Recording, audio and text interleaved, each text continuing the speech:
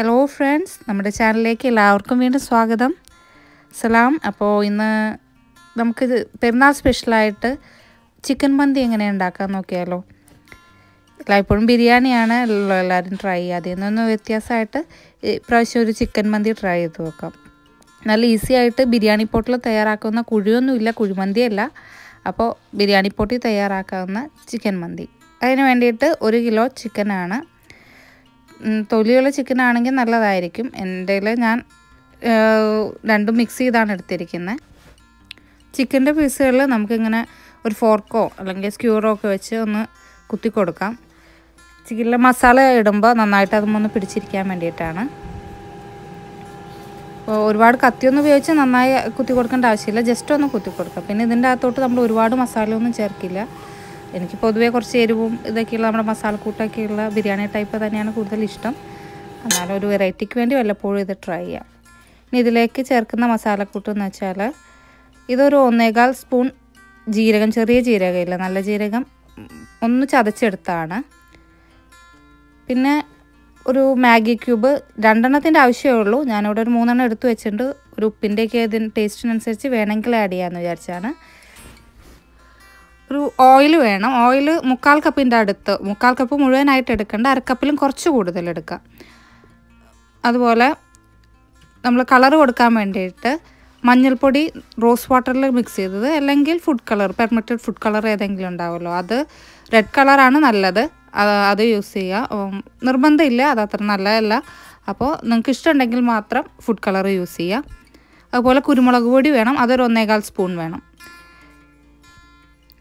പിന്നെ ഇത് ക്യാപ്സിക്കവും മല്ലിയിലയും പുതിനയിലയാണ്. പൊതുവേ ഇത് മന്തിയിൽ ചേർക്കാറില്ല.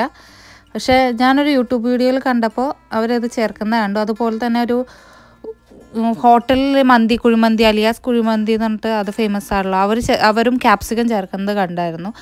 അപ്പോൾ എനിക്ക് തോന്നി അത് കുറച്ചും കൂടി ടേസ്റ്റ് ഉണ്ടാക്കുമെന്ന്. അപ്പോൾ അതിന് വേണ്ടിയിട്ട് ഒരു ക്യാപ്സിക്കം ഒരു വലിയ ക്യാപ്സിക്കം നല്ല പൊടിയായിട്ട് അരിഞ്ഞെടുക്കണം.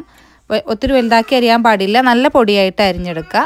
ഇപ്പോൾ ചെറുതാണെന്നുണ്ടെങ്കിൽ ചെറിയ രണ്ട് ക്യാപ്സിക്കം എടുക്കുക. ഏകദേശം ഒരു മുക്കാൽ കപ്പോളം. അതുപോലെ ഒരു പിടി ചെറിയ മല്ലി മറ്റേ മല്ലി ചെറുതാക്കി അരിഞ്ഞത് മല്ലിയില. അതും അധികം എടുക്കരുത്. വളരെ കുറച്ച് ഒരു ചെറിയ പിടി മാത്രം മതി. ഒരു രണ്ട് മൂന്നോ ടീസ്പൂൺ നമുക്ക് ആവശ്യമുള്ളൂ.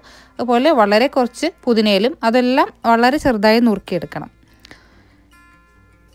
ഇനി ഇത് ചിക്കൻ ഇതുപോലെ നമ്മൾ മന്തി ഉണ്ടാക്കുന്ന ആ പാത്രം ബിരിയാണി പാത്രത്തിൽ നന്നായിട്ട് നിരത്തി വെച്ച് കൊടുക്കുക. അങ്ങനെ ഒന്നിന്റെ മേലെ ഒന്നായിട്ടല്ലാതെ ഒന്ന് പരത്തി വെച്ച് കൊടുക്കുക. എന്നിട്ട് അതിലോട്ട് നമ്മൾ ചതച്ച് വെച്ചിരിക്കുന്ന ജീരകം അതും ചേർത്ത് കൊടുക്കുക. പിന്നെ കുരുമുളക് പൊടി ഒന്നേകാൽ സ്പൂൺ ചേർത്ത് കൊടുക്കണം.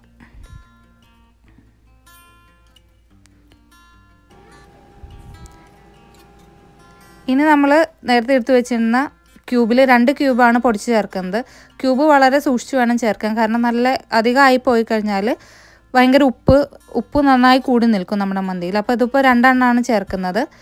ആവശ്യമാണെങ്കിൽ മാത്രം ടേസ്റ്റ് നോക്കിയിട്ട് കൂടുതൽ ചേർക്കാം. ഇനി നമ്മൾ എടുത്തു വെച്ചിരിക്കുന്ന മല്ലിയിലയും ക്യാപ്സിക്കവും പുതിനയിലയും ചേർത്ത് കൊടുക്കാം. നന്നായി പൊടിയായിട്ട് അരിഞ്ഞിരിക്കുന്ന കാരണം ഇത് കുക്കായിട്ട് വരുമ്പോൾ ഒട്ടും ഇത് കാണില്ല. ഇത് നന്നായിട്ട് അതിന്റെ അകത്ത് തന്നെ അലിഞ്ഞു പോയിട്ടുണ്ടാവും. അപ്പോൾ നമ്മൾ ഇതെല്ലാം ഇതിന്റെ മുകളിൽ നിന്ന് ഒരു ടേസ്റ്റ് വ്യത്യാസം കൊടുക്കും.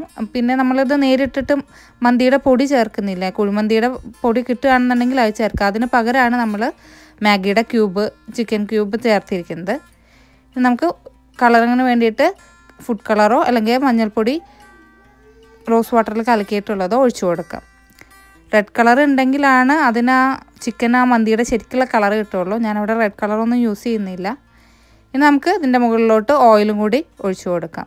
ഓയിൽ ഒരുപാടാന്ന് തോന്നും പക്ഷേ നമ്മളത് വേറെ വെള്ളത്തിലിട്ട് ചിക്കൻ വേവിക്കുന്നില്ല. പൊതുവേ വെള്ളത്തിലിട്ട് ചിക്കൻ വേവിച്ച് അത് മാറ്റി ഗ്രില്ല് ചെയ്തെടുക്കാറാണ്. ഇത് ഈ ഓയിലിൽ തന്നെ പിന്നെ അതുപോലെ ഇത് മാരിനേറ്റ് ചെയ്ത് വെക്കുമ്പോൾ ചിക്കനിൽ നിന്ന് വെള്ളം വരും കുറച്ച്.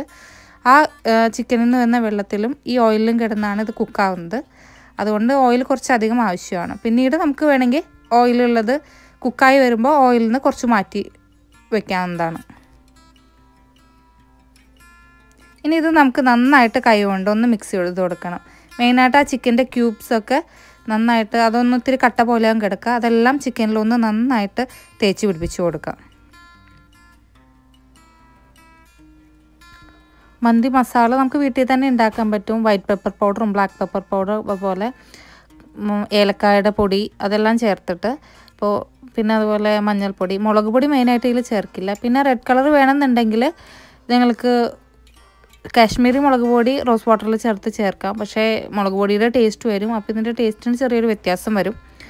അപ്പോൾ ഇനി ഇത് നമ്മൾ മാരിനേറ്റ് ചെയ്യാൻ വേണ്ടി മാറ്റി വയ്ക്കുകയാണ് ഒരു ഒരു മണിക്കൂർ നേരം വെക്കുകയാണെങ്കിൽ വളരെ നല്ലതാണ് ഫ്രിഡ്ജിൽ വയ്ക്കുക ഇനി നമുക്ക് റൈസ് കഴുകി വെള്ളത്തിൽ കുതിർക്കാൻ വെക്കണം. അതിന് ഞാൻ ഇവിടെ അൽജിയ എന്ന് പറയുന്ന കിട്ടുന്ന ഒരു ബ്രാൻഡാണ് എടുത്തിരിക്കുന്നത്. നാട്ടിൽ sella rice white gold rice ഒക്കെയാണ് പൊതുവെ എടുക്കാറ്. നമ്മുടെ കട്ടിയുള്ള പച്ചരി പോലെ തോന്നുന്ന ബസ്മതി റൈസ് അത്ര നന്നായിരിക്കില്ല. കുറച്ചൊന്ന് നേരിയ ഇതുപോലത്തെ റൈസ് ആയിരിക്കും. മന്തി ഉണ്ടാക്കാനായിട്ട് നല്ലതായിരിക്കാം. അപ്പോൾ ഇതൊരു ഒരു മണിക്കൂർ നേരം നമ്മൾ ചിക്കൻ മാരിനേറ്റ് ചെയ്യാൻ വയ്ക്കുമ്പോൾ തന്നെ അത് വെച്ച് കഴിഞ്ഞിട്ട് ഇതും ഒന്ന് വെള്ളത്തിൽ കുതി കുതിർത്ത് വെക്കാം. പിന്നെ ബസ്മതി റൈസ് ആണെങ്കിൽ അത്ര നേരം കുതിർത്ത് വെക്കേണ്ട കേട്ടോ പിന്നെ അതിനോടൊപ്പം തന്നെ ഞാൻ കുറച്ച് ബദാം എടുത്തിട്ട് വെള്ളത്തിലൊന്ന് കുതിർത്ത് വെക്കുന്നുണ്ട്. അതായത് ഇതിന്റെ മുകളിൽ ഗാർണിഷ് ചെയ്യാൻ വേണ്ടിയാണ്. ഇത് കുതിർത്ത് വെക്കുന്നത് അതിന്റെ ആ തൊലി ഒന്ന് വിട്ട് വരാൻ വേണ്ടിയിട്ടാണ്. പുറമേലുള്ള തൊലി ഒന്ന് വിട്ട് കിട്ടാൻ വേണ്ടിയിട്ടാണ്. ഗാർണിഷ് ചെയ്യാൻ വേണ്ടിയിട്ടാണ് നിർബന്ധമില്ല. അപ്പോൾ നമ്മുടെ ചിക്കൻ ഒരു മണിക്കൂറോളം മാരിനേറ്റ് ചെയ്തു. ഇനി ഇത് ഒരു ഹൈ ഫ്ലെയിമിലിട്ടിട്ട് നമുക്കൊന്നൊരു രണ്ട് മിനിറ്റ് നേരം വെക്കണം. കാരണം ഫ്രിഡ്ജിൽ നിന്ന് ഇട്ട കാരണം തണുപ്പുണ്ടാവും. ആ തണുപ്പൊന്ന് വിട്ട് വിട വിട്ട് കിട്ടാൻ വേണ്ടിയിട്ടാണ്. രണ്ട് മിനിറ്റ് നേരം ഹൈ ഫ്ലെയിമിലൊന്ന് വെക്കുക.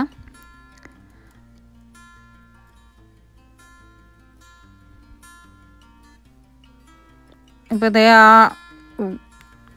അതിലുള്ള എണ്ണയൊക്കെ ഒന്ന് ചൂടായി കിട്ടിയിട്ടുണ്ട്. ഇനി ഫ്ലെയിം ഒന്ന് കുറച്ച് സാധാരണ ഒരു മീഡിയം ഫ്ലെയിമിലാക്കണം എന്നിട്ട് നമ്മളിത് അടച്ചു വെച്ച് ഒരു പത്ത് മിനിറ്റ് നേരം കുക്ക് ചെയ്യുകയാണ് ചെയ്യുക. അപ്പോൾ എണ്ണയിൽ അടച്ചു വെച്ച് വയ്ക്കുമ്പോൾ കുറച്ചൊന്ന് ഫ്രൈ ആയ പോലെ ഒരു ടേസ്റ്റും പിന്നെ അതുപോലെ നന്നായി കുക്കായി കിട്ടും. അപ്പോൾ ഇതൊരു പത്ത് മിനിറ്റ് നേരം അടച്ചു വെച്ച് വേവിക്കാം. ഇപ്പോൾ ഒരു പത്ത് മിനിറ്റ് കഴിഞ്ഞിട്ടുണ്ട്. ഇനി ഇത് നമുക്ക് മറിച്ച് ഇടണം. ഈ ചിക്കന്റെ പീസസ് എല്ലാം മറിച്ചിട്ട് കൊടുക്കണം. ഇങ്ങനെ ഓരോ പത്ത് മിനിറ്റ് കൂടുമ്പോൾ മറിച്ചിട്ട് മറിച്ചിട്ട് ഏകദേശം ഒരു മുപ്പത് മിനിറ്റ് നേരം നമ്മൾ ഈ ചിക്കനെ കുക്ക് ചെയ്തെടുക്കണം. ഓരോ സൈഡും ചിക്കൻ ഇങ്ങനെ മറിച്ചിട്ട് കൊടുക്കാം പിന്നെ ഒരു പത്ത് മിനിറ്റ് കഴിയുമ്പോൾ അടുത്ത സൈഡിലേക്ക് ഇങ്ങനെ മറിച്ചിട്ട് കൊടുക്കണം. ഇപ്പോൾ റെഡ് കളർ യൂസ് ചെയ്തിട്ടുണ്ടെങ്കിൽ ഇപ്പോൾ തന്നെ ചിക്കന് നല്ലൊരു കളറാവും പക്ഷെ കളർ യൂസ് ചെയ്യാത്തതുകൊണ്ടാണ് ചിക്കന് വലിയ കളറൊന്നും ഇല്ലാത്തത്.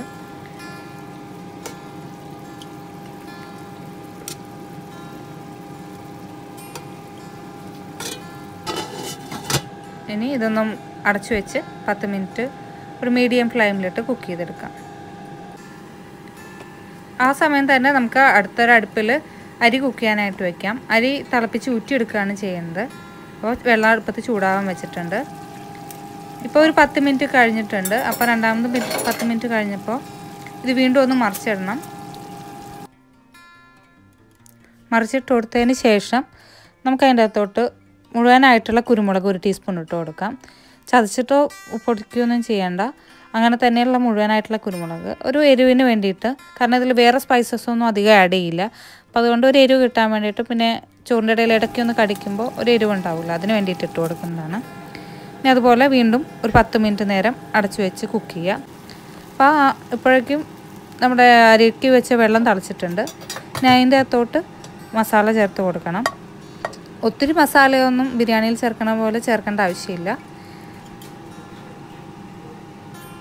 ഒരു അഞ്ച് ഗ്രാമ്പൂ നാല് ഏലക്കായ പിന്നെ രണ്ട് പീസ് കറുവപ്പട്ട അപ്പോൾ അതിന്റെ ഒരു ഫ്ലേവർ ജസ്റ്റ് ഒന്ന് ആ വെള്ളത്തിലേക്ക് ഇറങ്ങാനാണ്. വെള്ളം നമ്മൾ അരി ഊറ്റിയെടുക്കുകയാണ് ചെയ്യുന്നത്. പിന്നെ നമ്മൾ ഡ്രൈ ലെമൺ ചേർക്കും. അത് ഹോളായിട്ടുള്ള ഡ്രൈ ലെമൺ ആണ് ചേർക്കാറ്. ഇവിടെ എനിക്കത് ഒട്ടും കിട്ടില്ല. അപ്പോൾ ലെമൺ ടീയിലൊക്കെ ചേർക്കുന്ന ഡ്രൈ ലെമൺ ഇതുപോലെ പീസസ് ആയി കിട്ടും. അതാണ് ചേർത്ത് കൊടുക്കണേ. അതൊരു നാല് പീസ് ചേർത്ത് കൊടുക്കുന്നുണ്ട്. ഇനി ഇതിന്റെ അകത്തോട്ട് വെള്ളത്തേക്ക് ആവശ്യമായിട്ടുള്ള ഉപ്പ് കൂടി ഇട്ട് കൊടുക്കാം.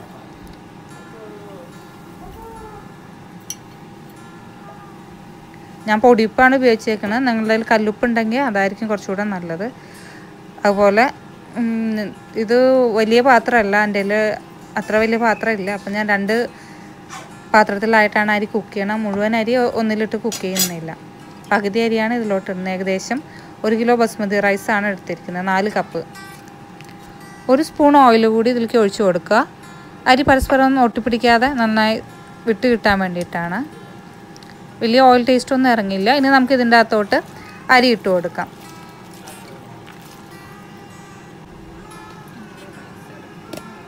നന്നായിട്ട് ഇടയ്ക്ക് ഒന്ന് ഇളക്കി കൊടുക്കണം. നമ്മൾ ഗ്യാസിൽ വെച്ച് കുക്ക് ചെയ്യുന്ന കാരണം താഴെ പിടിക്കാതിരിക്കാൻ വേണ്ടി ഇടയ്ക്കിടയ്ക്ക് നന്നായിട്ട് ഇളക്കി കൊടുക്കുക. അതുപോലെ ഒരു നയന്റി ഫൈവ് പെർസെന്റേജോളം ഇത് കിടന്ന് തന്നെ കുക്കായതിന് ശേഷം നമുക്ക് ഊറ്റിയെടുക്കാം. അധിക നേരം ദമ്മിയില്ല. ഇപ്പം നന്നായി കുക്കായിട്ട് വന്നിട്ടുണ്ട്. അതിന് വേണമെങ്കിൽ നിങ്ങൾക്ക് ആ സ്പൈസസ് ഒക്കെ ഒന്ന് അരിച്ച് മാറ്റിയെടുക്കാം. എന്നിട്ട് ചോറ് ഊറ്റിയെടുക്കാം. നയന്റി ഫൈവ് പെർസെന്റേജ് കുക്കാണെന്ന് പറയുന്നത് നമ്മൾ അധിക നേരം ദമ്മിയിൽ ഒരു പത്ത് മിനിറ്റൊക്കെയാണ് ദം ചെയ്യാൻ വെക്കുന്നുള്ളൂ. ഇനിയിപ്പോൾ നമ്മുടെ ചിക്കൻ റെഡി ആയിട്ടുണ്ട്. ഇതിൽ നിന്ന് ഞാൻ കുറച്ച് ഓയിൽ മാറ്റി വെച്ചിട്ടുണ്ട്. കാരണം അധികം ഓയിൽ എക്സസ് ആയിട്ട് ഓയിൽ ഉണ്ടെന്ന് തോന്നുകയാണെങ്കിൽ നമുക്കത് മാറ്റി വയ്ക്കാം കുറച്ചധികം ഓയിൽ ഞാനതിന്ന് മാറ്റി വെച്ചു. ഇനി അതിന്റെ മുകളിലോട്ട് നന്നായിട്ട് ഇതുപോലെ ചോറ് നന്നായി പരത്തി ഇട്ട് കൊടുക്കുക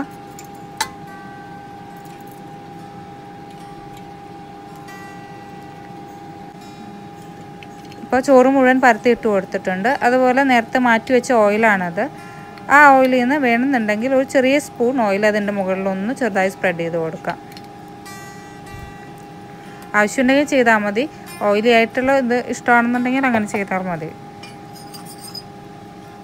ഇത് മഞ്ഞൾപ്പൊടി റോസ് വാട്ടറിൽ കലക്കി വെച്ചതാണ്. ഒരു ചെറിയ മഞ്ഞ കളർ അല്ലെങ്കിൽ നല്ല നല്ല വൈറ്റ് ആയി പോകും റൈസ് അപ്പോൾ അതുകൊണ്ട് റെഡ് കളർ ഇട്ടിട്ടുണ്ടെങ്കിൽ നല്ലൊരു കളർ കിട്ടും. പക്ഷേ ഇത് യെല്ലോ കളറാണ് അതായത് മഞ്ഞപ്പൊടിയാണ് ഇട്ട് കൊടുത്തേക്കണേ. അപ്പോൾ ആ മഞ്ഞ കളർ കിട്ടാൻ വേണ്ടിയിട്ടാണ്. വേണമെന്നുണ്ടെങ്കിൽ പാൽപ്പൊടി കലക്കി അതിന്റെ അകത്ത് മഞ്ഞൾപ്പൊടി ഇട്ടിട്ട് നമുക്ക് യൂസ് ചെയ്യാം. അപ്പോൾ ഒരു പ്രത്യേക ഫ്ലേവറാണ് പിന്നെ പച്ചമുളക് ഇതുപോലെ സ്പ്ലിറ്റ് ചെയ്തിട്ട് ഒന്ന് എല്ലാത്തിന്റെ എല്ലാം ഒരു അഞ്ചാറ് പച്ചമുളക് ഇതുപോലെ വെച്ച് കൊടുക്കണം. അപ്പോൾ അതിലൊന്നോ രണ്ടെണ്ണത്തിന്റെ അറ്റം മാത്രം ഒന്ന് മുറിച്ചിട്ട് വെച്ച് കൊടുക്കുക. ബാക്കിയുള്ള എല്ലാം അതുപോലെ തന്നെ വെച്ച് കൊടുക്കുക. ഒരു പച്ചമുളകിന്റെ ഫ്ലേവർ ദം ചെയ്യുമ്പോൾ അതിന്റെ അകത്തോട്ട് ഇറങ്ങും. ഒരു നല്ല സ്മെല്ലും ഉണ്ടാവും. അപ്പോൾ ഇതുപോലൊരു പാൻ അടിയിൽ ആദ്യം ചൂടാക്കി വെക്കുക. ദം ചെയ്യാൻ വെക്കാൻ പോവാണ്.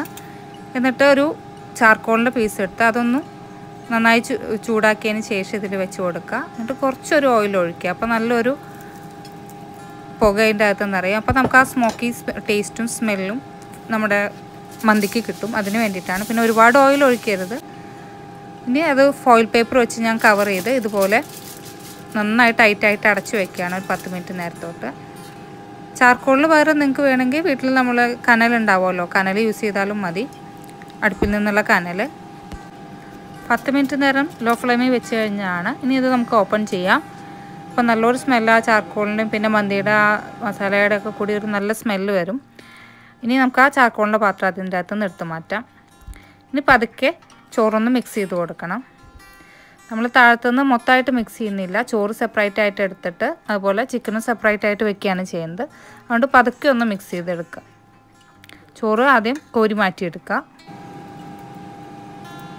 അതുപോലെ ചിക്കൻ പീസസും സെപ്പറേറ്റ് നമ്മൾ മാറ്റിയെടുത്ത് വെക്കാം ഇപ്പോൾ നന്നായി വിട്ടിട്ട് നന്നായി കുക്കായിട്ടുണ്ട് അതുപോലെ ഞാൻ ചിക്കൻ പീസസും ഇതുപോലെ മാറ്റിയെടുത്ത് വെച്ചിട്ടുണ്ട്. പിന്നെ ഒരു സ്പൂൺ നെയ്യിൽ ബദാമും മുന്തിരിയൊന്നും വറുത്തെടുത്തിട്ടുണ്ട്. ഇനി അതെല്ലാം ഗാർണിഷ് ചെയ്ത് നമ്മുടെ മന്തി റെഡിയാക്കുക.